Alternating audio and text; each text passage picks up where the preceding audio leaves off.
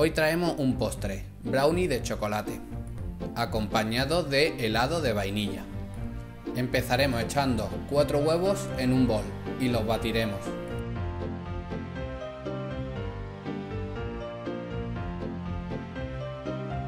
Vamos a echarle 4 cucharadas soperas de azúcar. Le echaremos una y batiremos bien. Le volveremos a echar otra y batiremos bien. Le echaremos otra y batiremos bien. Le echaremos otra y batiremos bien y ya le hemos echado todas las cucharadas.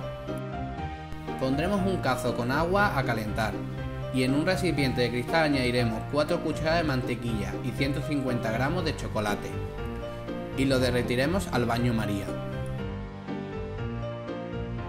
En otro bol echaremos las nueces y una cucharada y media de harina y lo mezclaremos.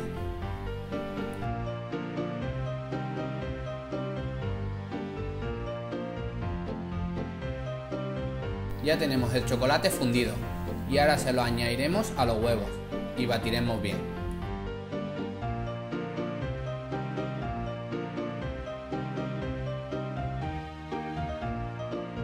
La mezcla de chocolate y huevos se la añadiremos a las nueces con harina y volveremos a batir. Engrasaremos el molde con mantequilla y harina